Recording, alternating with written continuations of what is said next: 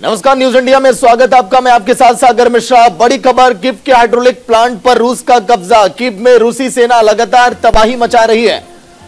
किप के hydraulic plant पर रूस का कब्जा। देखिए किस तरह से मिसाइल लगातार रूस की तरफ़ छोड़े जा रहे हैं। रूस की तरफ़ से यूक्रेन पर लगातार ये हमला किया जा रहा है। तीसरे दिन और बड़ी तबाही।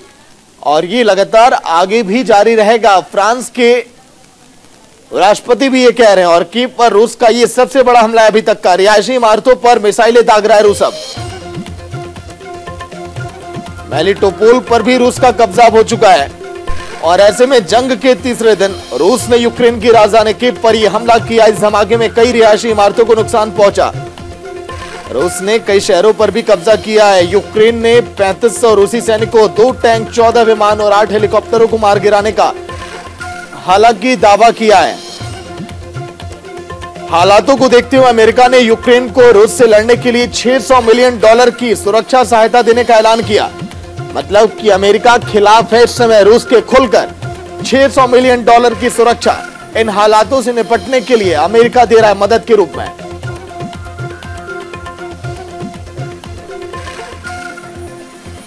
लेकिन रूस और यूक्रेन के बीच झगड़े की वजह क्या है? आखिर क्यों रूस यूक्रेन के साथ इतनी सख्ती के साथ पेश आ रहा है? रिपोर्ट में आप देखिए।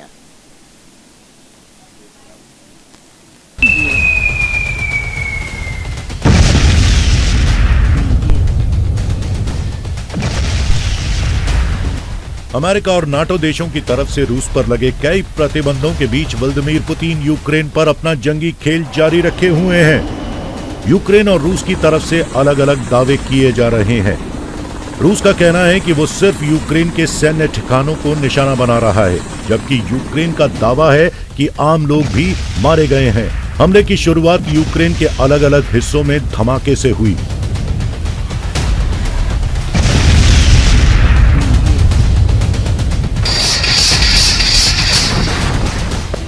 यूक्रेन ने दूसरे देशों के साथ साथ पीएम मोदी से भी मदद मांगी है। अमेरिका ने रूस को चेताया है तो चीन मामले को शांति से सुलझाने की गुजारिश कर रहा है। यूएन में रूस ने हमले पर अपना पक्ष रखते हुए कहा कि ये अभियान यूक्रेन के लोगों की रक्षा के लिए है, जो कई सालों से पीड़ित हैं। हमारा लक्ष्य यूक्रेन को नरसंहार से बचाना है। ज़ाहिर है, यूक्रेन और रूस के बीच बढ़ता तनाव शीत युद्ध के बाद यूरोप में सुरक्षा को लेकर सबसे बड़े संकट को जन्म दे सकता है। आखिर क्यों रूस के लिए यूक्रेन उतना खास है, जिसे पुतिन किसी भी हद तक जाकर पाने की चाह रखते हैं? एक नज़र डालते हैं।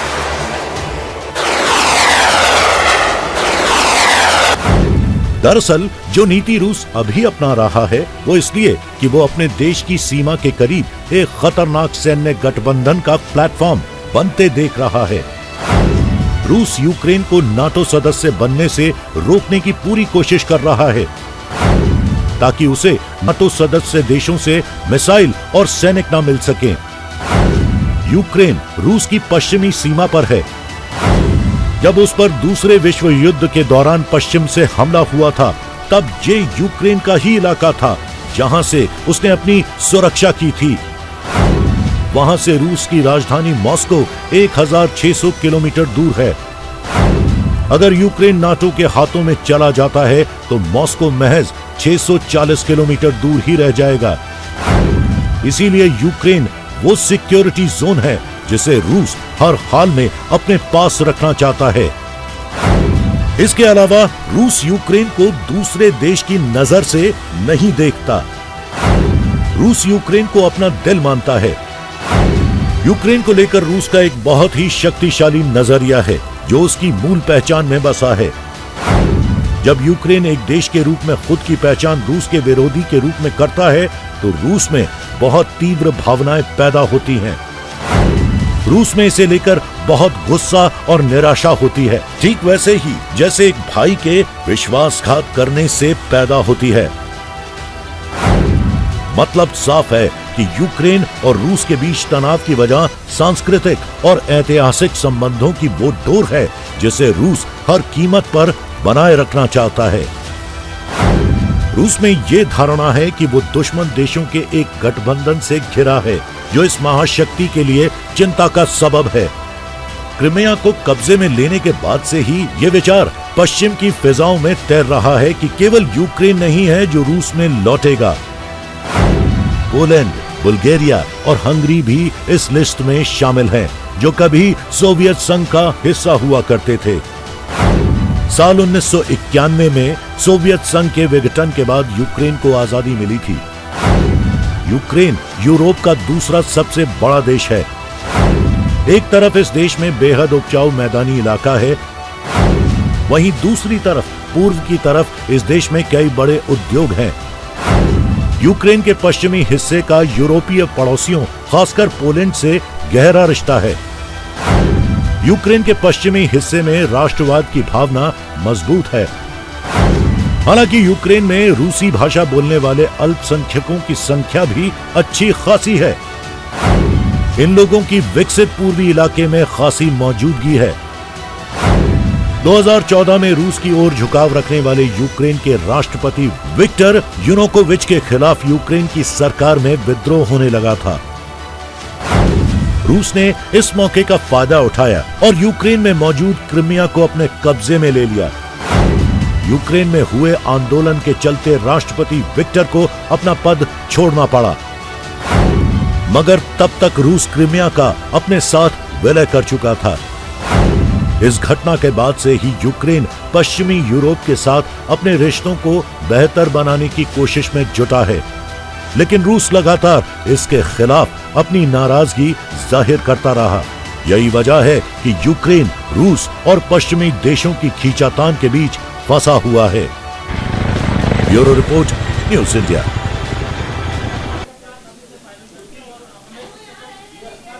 तो चलिए अब आपको पुतिन और जेलेस्की के सियासी सफ़र के बारे में बताते हैं। एक खुफिया एजेंट और दूसरा कॉमेडी किंग कैसे अपने अपने देश के राष्ट्रपति बने।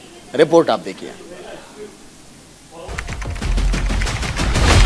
पचास साल पहले लेनिन ग्रैंड की सड़कों ने मुझे एक सबक सिखाया था। और वो ये कि अगर लड़ाई होनी है तो आपको पहला मुक्का मारना होगा।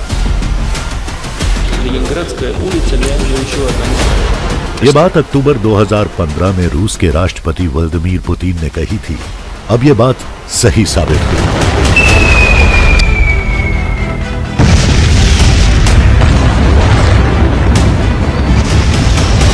रूस ने यूक्रेन पर आक्रमण कर दिया ताबड़तोड़ गोले बरसाए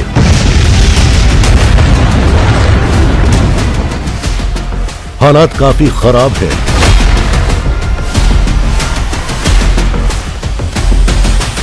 लोग भाग रहे हैं। सड़कों पर गाड़ियों का रेला लगा है।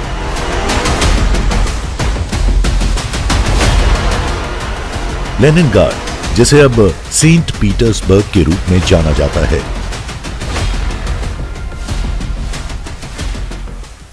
यहीं पर पुतिन का जन्म हुआ था। बचपन में पुतिन की लड़ाई अपने उम्र से बड़े लड़कों से होती थी। और यही वजह है कि पुतिन ने जूडो सीखा। और न केवल सीखा, बल्कि इसमें महारत हासिल कर ब्लैक बेल्ट भी धारण कर ली।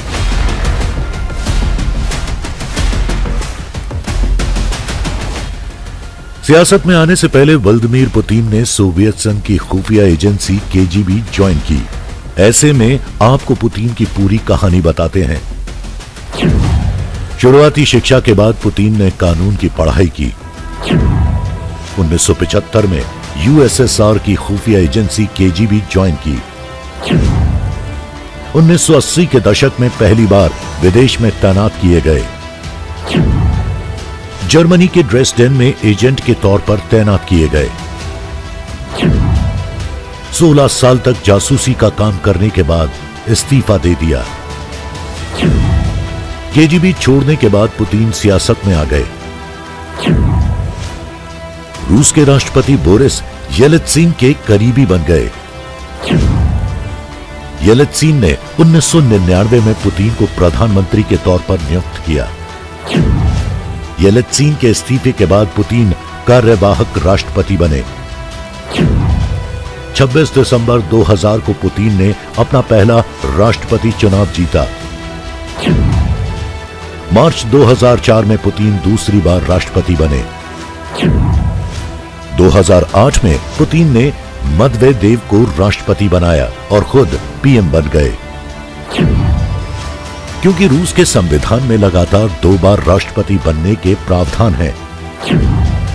रूस के राष्ट्रपति मददेव ने संविधान में संशोधन किया। राष्ट्रपति के कार्यकाल को चार साल के बजाय छह साल कर दिया। पीएम के बाद पुतिन ने एक बार फिर राष्ट्रपति का चुनाव लड़ा। 2012 में तीसरी बार राष्ट्रपति चुने गए। 2018 से 75 फ़ीसदी से ज़्यादा वोट पाकर चौथी बार प्रेसिडेंट बने। जुलाई 2020 में संविधान संशोधन कर 2036 तक राष्ट्रपति का पद अपने पास रख लिया। रूस कभी अमेरिका को सीधी टक्कर देता था, लेकिन कोल्ड वॉर के बाद रूस कुछ कमज़ोर हो गया।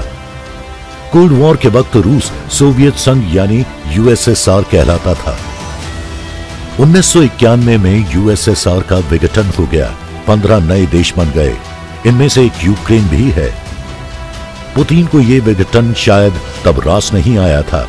यही वजह है कि सोवियत संघ के विघटन को पुतिन कई बार ऐतिहासिक भूल कह चुके हैं। पुतिन रूस के सोवियत संघ वाले दिन को लौटाना चाहते हैं। कई सालों से मिशन में जुटे हैं पुतिन। 2008 में जॉर्जिया के खिलाफ युद्ध छेड़ दिया। दो इलाकों साउथ ओसेशिया और अबखाज को स्वतंत्र घोषित कर रूसी सेनाएँ तैनात कर दी गईं। 2014 में यूक्रेन की क्रिमिया पर हमला कर कब्जा कर लिया। कुछ दिन पहले यूक्रेन के डोनेट्सका और लुहान्स्क स्वतंत्र पीपल रिपब्लिक घोषित किए गए। अब आपको बताते हैं रूस के साथ युद्ध का दंश झेल रहे यूक्रेन के राष्ट्रपति व्लादिमीर जेलेंस्की के बारे में।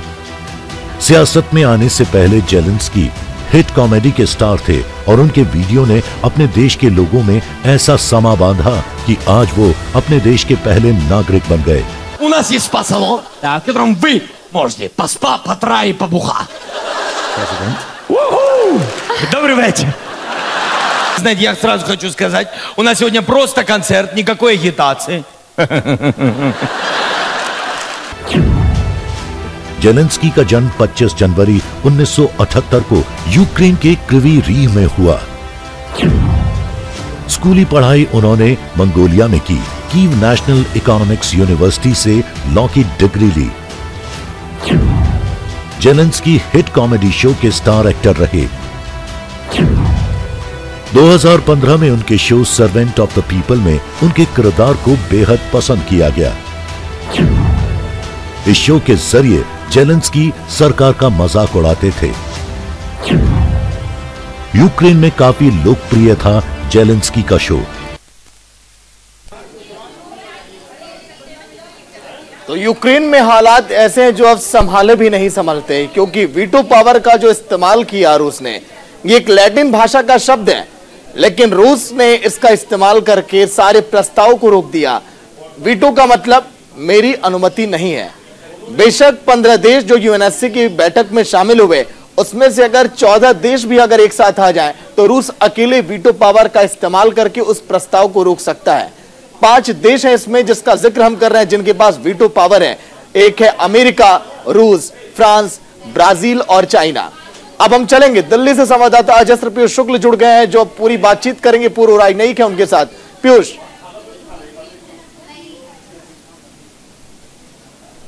देखिए वीटो पावर लगा के रूस ने तो रोक दिया सर लेकिन उसके बाद अब क्या स्थितियाँ बनती हैं? क्योंकि रूस को, के खिलाफ जितने प्रस्ताव आए, उनको उसने रोक दिया। स्थितियाँ युद्ध की बनी हुई हैं, लगातार युद्ध चल रहा है और नुकसान दोनों तरफ़ हो रहा है। ऐसे में अब आगे की क्या, चूँकि योगोस्लाविया में आप रहे हैं, योगोस्लाविया के बगल में यूक्रेन है तो ऐसे में उसकी परिस्थितियाँ क्या हैं और कितने दिन ये चीज़ें और अभी खिल सकती ये देखिए एक तो ये रशा अब पीछे तो जा नहीं सकता। जो उसके खिलाफ प्रस्ताव वो लग गए। जो भी सेंक्शन लगनी थी, अमेरिका ने लगा दी, इंग्लैंड ने लगा दी, जो बड़ी बड़ी कंट्री हैं, उन्होंने लगा तो उनको भी पता है कि अब अब जो होना है, हम, हमें हो ही गया है। तो अब बीच में छोड़ना उनके लिए उनके लिए बहुत ही एम्बेरसमेंट होगा इस वक्त। तो वो अपना काम पूरा करके ही रहेंगे, जो उन्होंने अपना इरादा पुतिन साहब ने किया है। लेकिन सर यहाँ एक सवाल उठता है कि आखिर यूक्रेन से इतना बड़ा खतरा छोटा सा देश है यूक्रेन समझना होगा। और यूक्रेन से इतना बड़ा बड़ा खतरा कैसे था रशिया को कि उसने इतनी बड़ी सैन्य कार्रवाई कर उसको यूक्रेन से खतरा कुछ नहीं था ना आज भी है। वो तो अपने को जिसको कहते हैं ना भाई मानते हैं। तो तो रही है एक एक, एक कंट्री रही है 1917 से लेके अब, अब तक। एक ही कंट्री थी। अभी बाद में जब सोवियत यूनियन का विभाजन हुआ, तब ये इंडिपेंडेंस इनको मिली थी।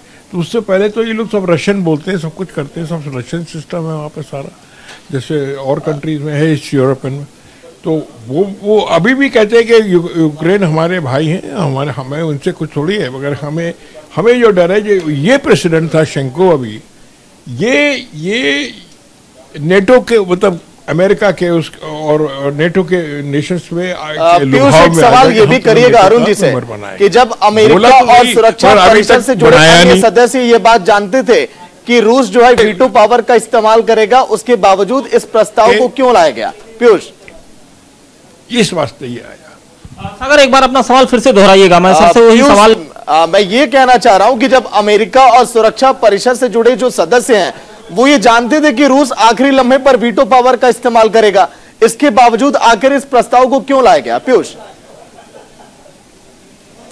सर जैसे रूस ने भी वीटो पावर का इस्तेमाल कर लिया और यूएनएस में जो देश थे, वो जब जानते थे कि अंतिम वक्त में रशिया अपना बीटो पावर का इस्तेमाल करके सारे प्रस्तावों को रोक देगा तो आखिर इस प्रस्ताव को लाया क्यों गया और इतना देर क्यों आखिर क्या वजह है? इतनी देर क्यों लग रही है? नहीं नहीं वो प्रस्ताव तो अब खत्म ही हो गया। रशिया ने वीटो कर दिया खत्म हो गया। उसके कोई अब, महत्व थोड़ी है। लाया क्यों गया? वो वो तो अमेरिका चाहता था कि इसको कंडम करें। यूएन के अंदर भी रशिया को वो नहीं कर पाया। अपने वीटो से उसने वीटो कोई चाइना ने चाइना भी दे सकता था वीटो वो भी पी फाइव है। वो चाइना ने वीटो नहीं किया। खुद उसको करना पड़ा वीटो अरे इसकी वैल्यू कम होती है? अगर दूसरा कोई वीटो करे तो उसकी वैल्यू ज़्यादा होती है ना। इनको तो खुद ही करना पड़ा वीटो अपने को बचाने के लिए। अब रशिया को कैसे रोकेंगे उसको को- कोई नहीं रोक सकता इस वक्त। ये तो सोचने की बात भी भूल जाइए कि, कि, कि, कि कोई भी देश इस वक्त उसको रोक सकता है। जो पुतिन ने डिसाइड कर लिया वो हो गया। मोदी ने इतना कहा था उससे तीन चीज़ें कही थी मोदी ने जो टेलीफोन में अब पता लग रहा है। एक कहा था हमारे जो स्टूडेंट्स हैं वो हमारी नंबर वन प्राथमिक जो कहते हैं ना वो है। और हमारे स्टूडेंट्स की आप भी प्रोटेक्शन देंगे और रशिया ने जो कर रहा है रशिया। ऐसी बात नहीं है। रशिया ने कहा नहीं आपके स्टूडेंट्स पे कोई आँच नहीं आने देंगे। रशियन ट्रूप्स को इंस्ट्रक्शन दिए गए स्पेशल कि इंडियन अगर बस जा रही है कोई स्टूडेंट जा रहा है बॉर्डर की तरफ़ उसको बिल्कुल मत तंग करना। तो ये वो, वो तो मोदी ने पहला पॉइंट किया था। दूसरा पॉइंट मोदी ने ये कहा था आप जो लड़ाई चल रही है उसकी इमीडिएटली रोक दीजिए। नंबर दो पॉइंट वो नहीं माना रशा। मोदी की बात नहीं माना ना। नंबर तीन पॉइंट उसने कहा था, आप लोग डिप्लोमेटिक सोल्यूशन निकालिए। बैठ के राजनीति की तरह बात करिए और इसको सॉल्व करिए प्रॉब्लम को। आप कोई, आप तो कोई स्ट्रेंजर्स तो है नहीं।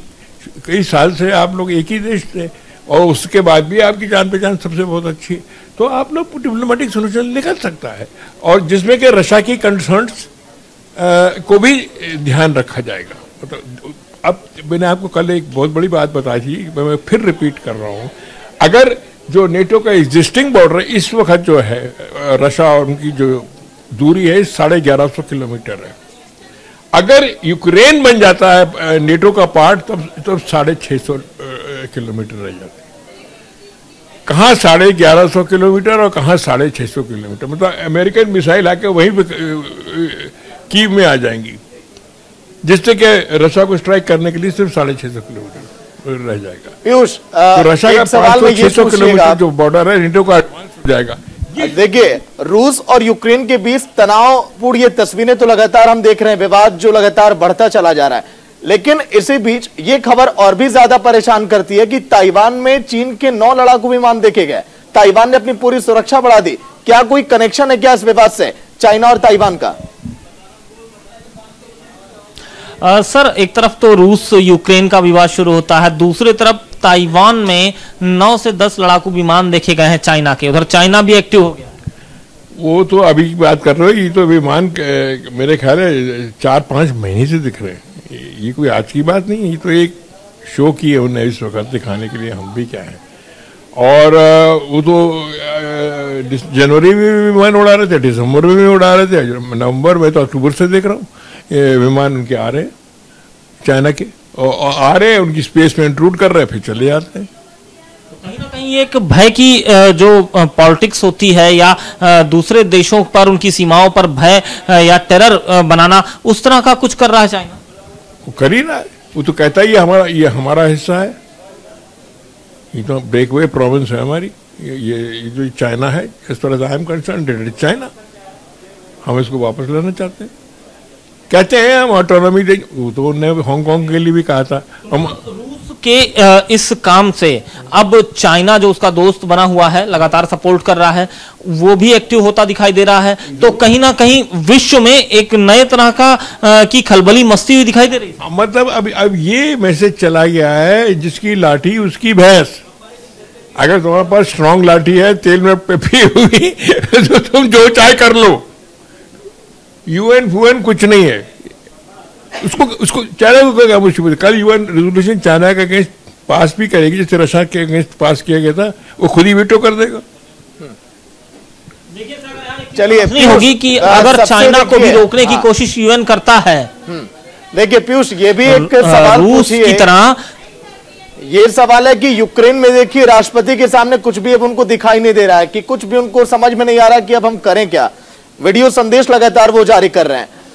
यूक्रेन के नागरिकों को वो कह रहे हैं कि आप अपने अपने हाथों में हथियार आप लीजिए, दुश्मनों का सामना आप करिए। पेट्रोल बम बनाने के लिए उन्हें उतार दिया गया कि आप बम आप बनाइए ताकि दुश्मनों का सामना आप करिए। क्या कुछ समाधान उनके सामने है क्या? क्या आगे कुछ करने का रास्ता दिखाई देता है? ये भी पूछिए उनसे। बिल्कुल सागर। देखिए, जिस तरह से यूक्रेन की स्थिति हुई, सर, उसके बाद वहाँ के राष्ट्रपति किम कर्तव्य विमूढ़ टाइप इस वक्त उनकी सिचुएशन हो चुकी है। वो कुछ उनको समझ नहीं आ रहा है। जिनके दम पर वो दम भर रहे थे, वो तो पीछे भाग गए। उनके कंधे बंदूक रख दी, गोलियाँ उनको दी नहीं। और अब वो नागरिकों से अपील कर रहे हैं कि आप आइए, यूक्रेन की रक्षा के लिए खड़े होइए, पेट्रोल बम बनाइए, ये सारी चीज़ें करिए। तो सर, ऐसे में क्या लगता है? मतलब यूक्रेन अब क्या स्टेप लेगा? उसके पास तो कुछ बचा ही नहीं रहा। इसके बाद कुछ नहीं है अभी वो कहते हैं मिलिट्री टेक ओवर कर ले या कोई अपना आदमी ढूंढ ऑलरेडी ढूंढा हुआ होगा पुटिन ने किसी को जो उनका लॉयलिस्ट होगा।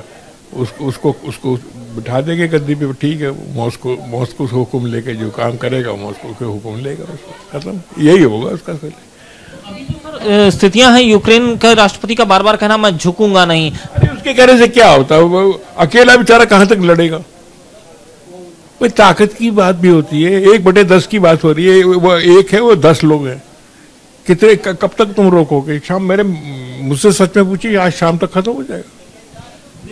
लगाई जा रही है कि आज शाम तक कुछ बड़ा हो सकता है यूक्रेन को लेकर, लेकिन सबसे बड़ी बात यह है कि ये विवाद नाटो का जो सेंटर बन रहा था यूक्रेन में और यूक्रेन नाटो में शामिल हो रहा था और ऐसे में नाटो देशों से मास्को की जो दूरी है जो सबसे बड़ी बात सर ने कही वो अभी तक 1100 किलोमीटर थी। अगर यूक्रेन नाटो का सेंटर हो जाता तो निश्चित तौर पर यह दूरी 600 किलोमीटर के आसपास रह जाती और ऐसे में अमेरिका की एक्सेस यूक्रेन में बहुत आराम से होती और कहीं ना कहीं रूस के लिए ये सबसे बड़ा संकट था और यही एक वजह रही। जो यूक्रेन लगातार अपने यूरोपीय देशों के साथ अपनी नजदीकियाँ बढ़ा रहा था। रूस को यह चीज़ पसंद नहीं आ रही थी पिछले कई दिनों से। यूक्रेन की यह भी मंशा थी कि नाटो देश में हमें भी शामिल कर दिया जाए, रूस ये नहीं चाहता था। क्या यही दो वजह है कि और भी कई वजह हैं, ये भी जानने की कोशिश करिए इस विवाद की। सर, सबसे बड़ी बात है कि यूक्रेन और रशिया के बीच में जो विवाद चला, युद्ध की स्थितियाँ बनी, युद्ध होता है, इन सब के पीछे कई सवाल उठते हैं। क्या यूरोपियन कंट्री से लगातार यूक्रेन की दोस्ती बढ़ना अमेरिका के साथ दोस्ती बढ़ना यही वजह थी या वजह कुछ और थी? और दो लोगों के आपसी टकराव में पिस गया ही। अब ये हम नहीं कह सकते कि दो दो जनों के व्यवहार में आफ्टर ऑल इस प्रेसिडेंट जेलेंस्की ने ही एक्सेप्ट किया कि हम नेटो मेंबर बनेंगे। मगर वो टालते रहे। ये ये ये, ये इतना सोच नहीं पाया ये। मगर उन्हें बना- शुरू में बना क्यों नहीं दिया नेटो मेंबर? तेईस कंट्रीज़ का था। उनको देर क्या लगती है बनाने में? अगर वो इतनी जल्दी थी तो अमेरिका ने खुद ही रिकॉग्निशन नहीं दिया उसको। अमेरिका को पता था कि हम कुछ करेंगे, इसको नेटो वन में बनाएँगे तो रशा रशिया इमीडिएटली ऑब्जेक्ट करेगा। उनको ये नहीं उम्मीद थी कि रशा आके आक्रमण कर देगा इसके लिए। ये नहीं उम्मीद थी नेटो को। वो इस उम्मीद में थे कि इसी को फुसला के हम करवा लेंगे काम आसानी से। वो भी नाटो में नाटो में शामिल नहीं करना था उनको केवल बहलाना ही था। बहलाना ही था बस। अब फ़िलहाल तो बहलाना ही था बाद में देख- जाएगी जब परिस्थिति जैसी होगी। मगर वो बहलाने में ये ये फंस गया उनको ये नहीं उम्मीद कि र- इतना स्ट्रांग आदमी वो वो बहलाने में नहीं आएगा।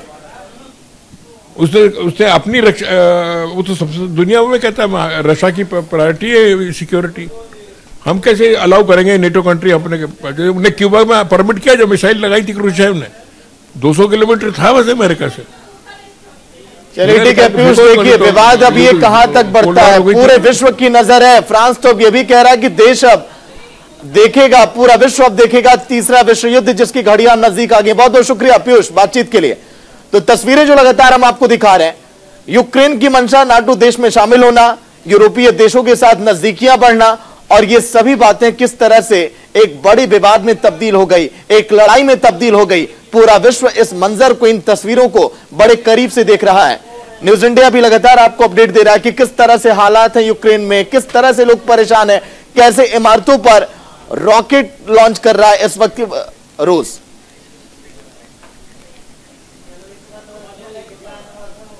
तो ऐसे में सबको यह सोच रहा है कि आखिर क्या कुछ समाधान है यहाँ पर? क्योंकि रूस लगातार अपने कदम बढ़ा रहा है। यूक्रेन को पूरी तरह से बर्बाद करना चाहता है क्योंकि यूक्रेन का हट नाटो देश में शामिल होना, नजदीकियाँ यूरोपीय देशों के साथ बढ़ना, आज उसको इस दलदल में धकेल दिया है, जिससे यूक्रेन निकलने की हालत में नहीं दिखाई दे रहा है। यूक्रेन के राष्ट्रपति ये कह रहे हैं, अपने नागरिकों से कि आप पेट्रोल बम बनाइए, आप अपने हाथों में हथियार आप लीजिए, डट कर सामना करिए। लेकिन उनका ये कहना कि आखिरी लम्हे तक हम लड़ेंगे। ये लड़ाई कहाँ तक जाएगी, देखने वाली बात।